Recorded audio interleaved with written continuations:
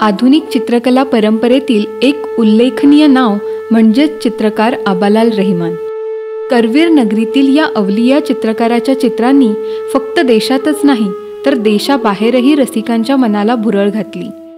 त्यांचं पूर्ण नाव अब्दुल अजिम रहिमान होते पण आबालाल याच नावाने ते सर्वपरिचित होते. सन अठराशे पन्नास ते अठराशे साठच्या दरम्यान कोल्हापूरमध्ये कासारगल्ली येथे पारंपरिक मुस्लिम घराण्यात त्यांचा जन्म झाला. त्यांचे वडील अब्दुल रहिमान बाबाजी हे कोल्हापूर संस्थानामध्ये कारकुनाचे काम करीत.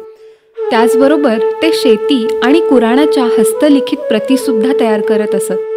कुराणाच्या प्रत्येक पानाभोवती वडील सुंदर नक्षीकाम करत आणि आबालालही आपल्या वडिलांसोबत या कामात रमून जात. त्याचबरोबर त्यांच्या घराजवळच जिनगर कारागीर सोन्या चांदीवरील कलाकुसर करत असत. ती सुद्धा आबालाल यांच्या पाहण्यात येत असे. आणि या सगळ्यामुळे कौशल्य व कारागिरीचे संस्कार बालपणापासूनच नकळत आबालाल यांच्यावरती होत गेले.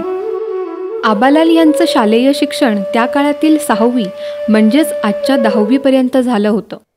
त्यामुळे ते मराठी संस्कृत इंग्रजी अशा विविध भाषांमध्ये पारंगत होते. याचबरोबर आपल्या मुलाला फारसी भाषाही यावी यासाठी त्यांच्या वडिलांनी पारसनेस मास्तरांकडे फारसी भाषा शिकवण्याची विनंती केली. पारसनेस मास्तर हे त्यावेळी ब्रिटिश रेसिडेंटच्या घरी फारसी भाषा शिकवण्यासाठी जात आपल्या व्यस्त दिनक्रमामुळे रेसिडेंटच्या घरी बैलगाडीतून जाताना आणि येताना मी तुला फारसी भाषा शिकवेन या अटीवर त्यांनी ती विनंती मान्य केली. पारसनीस मास्तर जेव्हा ब्रिटिश रेसिडेंटच्या घरी शिकवणी घेण्यात व्यग्र असत त्यावेळी आबालालीकडे बैलगाडीत बसून चित्र काढत. एकदा आबालाल यांची ही चित्र ब्रिटिश रेसिडेंटच्या पत्नीने पाहिली. तिने विनंती करताच तिचेही व्यक्तिचित्र आबालाल यांनी तडक बनवून दिले. अतिशय आनंदित होऊन तिने ते चित्र आपल्या पतींना दाखवले आणि या मुलाला पुढे कला शिक्षण घेण्यासाठी आपण सहकार्य करावे असे सुचवले. त्या ब्रिटिश रेसिडेंटने राजर्षी शाहू महाराजांची भेट घेतली आणि आबालाल यांना सर जे जे स्कूल ऑफ आर्टमध्ये शिक्षण घेण्यासाठी कोल्हापूर संस्थानातून शिष्यवृत्ती मिळावी अशी विनंती केली. कलाप्रेमी शाहू महाराजांनी ती विनंती मान्य केली. अशा प्रकारे आबालाल यांच्या कला शिक्षणाची तरतूद रिजन्सी काउन्सिल आणि छत्रपती शाहू महाराज शिष्यवृत्तीमधून झाली. पुढे आबालाल यांनी अठराशे ऐंशी ते अठराशे अठ्ठ्याऐंशी दरम्यान जे जे स्कूल ऑफ आर्टमध्ये शिक्षण घेतलं. आबालाल मुळातच अत्यंत हुशार विद्यार्थी होते. त्यांचा नावलौकिक होताच. अनेक ब्रिटिश अधिकारी त्यांच्याकडून चित्र बनवून लंडनला पाठवून देत. त्यामुळे कॉलेज जीवनापासूनच त्यांची चित्र लंडनला जाऊ लागली होती. अठराशे अठ्ठ्याऐंशीमध्ये त्यांना त्यांच्या एका चित्रसंचासाठी व्हॉइसरॉय सुवर्णपदक मिळालं. हे पदक मिळवणारे आबालाल हे भारतातील पहिले चित्रकार होते. आबालाल यांची चित्रकलेतील उल्लेखनीय कामगिरी पाहून त्यांचे प्राचार्य व मुख्याध्यापक यांनी त्यांची सहाय्यक म्हणून निवड केली. आबालाल यांनी विद्यार्थी दशेत असताना काढलेली व्यक्तिचित्र जे जे संग्रहालयात अजूनही आहेत शिक्षण झाल्यावर आबालाल कोल्हापूरला माघारी आले. परंतु वैयक्तिक आयुष्यातील काही घटनांमुळे ते भौतिक जीवनाविषयी उदासीन बनले. त्यामुळे त्यांनी घराचा त्याग केला.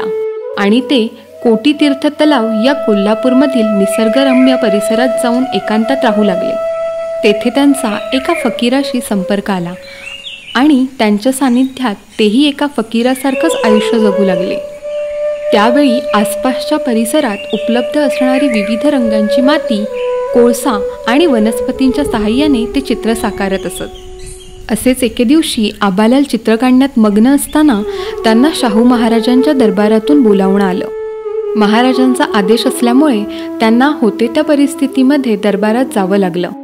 अंगावर फाटके कपडे वाढलेली दाढी कृश झालेले शरीर अशा अवस्थेत आबालाल महाराजांच्या समोर उभे होते. इतक्या नावाजलेल्या कलाकाराची झालेली ही अवस्था पाहून शाहू महाराज हळहळले. ताबडतोब त्यांनी आबालाल यांना मानधन देऊन त्यांचा सन्मान केला. तसेच त्यांची अहिल्याबाई गर्ल्स हायस्कूलमध्ये पंचवीस रुपये वेतनावर मास्तर म्हणून नेमणूक केली. त्यामुळे लोक त्यांना आबालाल मास्तर या नावानेच ओळखू लागले. परंतु आबालाल यांचा स्वभाव स्वच्छंद होता. त्यांना नोकरीच्या चौकटीत काम करणे अवघड जाऊ लागले. शेवटी आबालाल यांची होणारी ही कुचंबणा महाराजांच्या लक्षात आली. आणि महाराजांनी त्यांना नोकरीच्या चाकोरीमधून मुक्त केले. परंतु त्यांचे वेतन चालू ठेवले. महाराज आणि आबालाल यांचे नाते अतिशय जवळचे होते. महाराज त्यांना आपल्या कुटुंबातील सदस्यच समजत असत. त्यामुळे राधानगरी रायबाग यासारख्या निसर्गरम्य ठिकाणी महाराज जेव्हा जात तेव्हा आवर्जून आबालाल यांना बरोबर घेऊन जात त्या ठिकाणी आबालाल प्राणी पक्षी शिकार निसर्ग यांची चित्रे रेखाटत. आबालाल हे एक संवेदनाक्षम व प्रयोगशील चित्रकार होते. त्यांनी पुष्कळ प्रकारच्या तंत्रपद्धती वापरून चित्रनिर्मिती केली.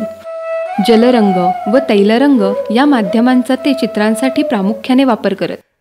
निसर्गाविषयी त्यांना विशेष लगाव होता. त्यामुळे त्यांनी अनेक निसर्गचित्रे काढली.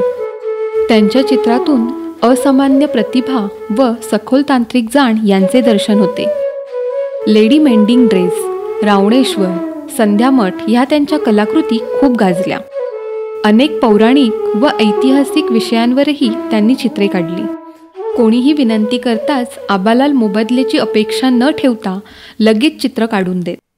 राव बहादूर धुरंदर माधवराव बागल ज्ञानदेव शिंदे यांच्यासारखे नावाजलेले चित्रकारही आबालाल यांना गुरुस्थानी मानत असत.